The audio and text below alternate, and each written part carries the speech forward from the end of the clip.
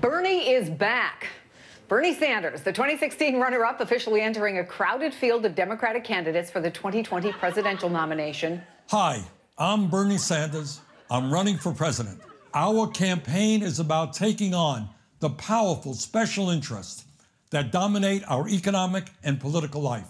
I'm talking about Wall Street, the health insurance companies, the drug companies, the fossil fuel industry, the military industrial complex, the private prison industry, and the large multinational corporations. Oh, damn. Yo, Bernie has entered the race. And did you hear his list of enemies? This guy doesn't mess around. Yeah, he didn't come to play. He was like, big banks, little banks, Tyra Banks, I'm shutting you all down. You're all going down. And you can tell that Bernie's serious about winning because he didn't rub his hair with a balloon before filming this video. He's serious now. He's in it. No balloon this time. We're going smooth. All student debt gone in six months. This is a new plan being proposed by Senator Bernie Sanders. The College for All Act.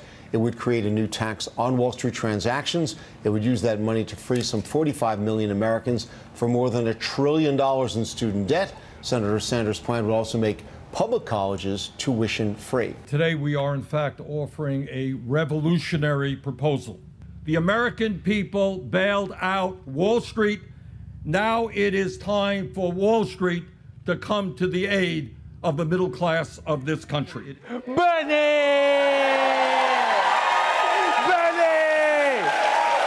Wow! The man has a plan to get rid of all student debt in six months. Imagine that, huh? Six months. Yeah, student debt is about to get canceled like someone dug up its old tweets. That's what's about to happen. And you know what? I'm always impressed by how passionate Bernie is about this issue, especially because it doesn't affect him. He doesn't have student debts. I mean, I don't think he does. Well, I don't, I don't know. Did, did they have student loans in ancient Greece? I don't know. He's like, tell Socrates, I will not be paying 400 goats for that philosophy class.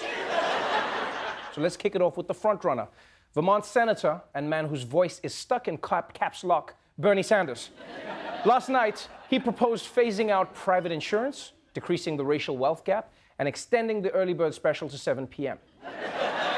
but the one moment that got everyone talking was this. Senator Sanders, you have said that you believe that people with felony records should be allowed to vote while in prison. Does this mean that you would support enfranchising people like the Boston Marathon bomber, a convicted terrorist and murderer? I think the right to vote is inherent to our democracy. Yes, even for terrible people. Because once you start chipping away and you say, well, that guy committed a terrible crime, not going to let him vote. Or that person did that, not going to let that person vote. You're running down a slippery slope. Wow, that was a tough question to answer. And I get why Bernie is concerned about slippery slopes. Right? Partly because America has a history of using imprisonment to disenfranchise minority voters. And partly because slippery things are every old man's worst nightmare. right? Bernie was also going to be like, I'm also thinking we should all get free Reeboks to wear in the shower. It's a dangerous place. Bernie Sanders was slipping at the crib. Two time presidential candidate Bernie Sanders out campaigning in Nevada after an accident in the shower left him with seven stitches on his head. He apparently cut his head on a glass shower door, we're told. He popped into a walk in clinic, got seven stitches, and got right back out there. But you can see the big bandage there. Is, is this evidence of his tenacity as this race heats up? Bernie! Yo, this dude is such a legend.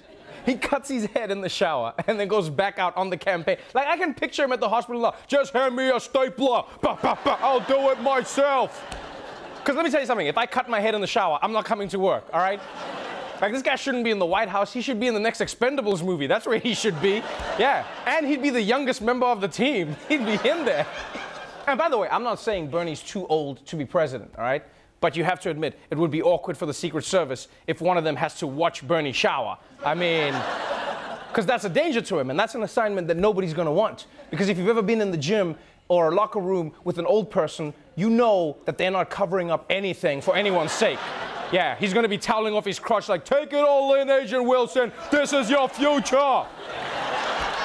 this is you.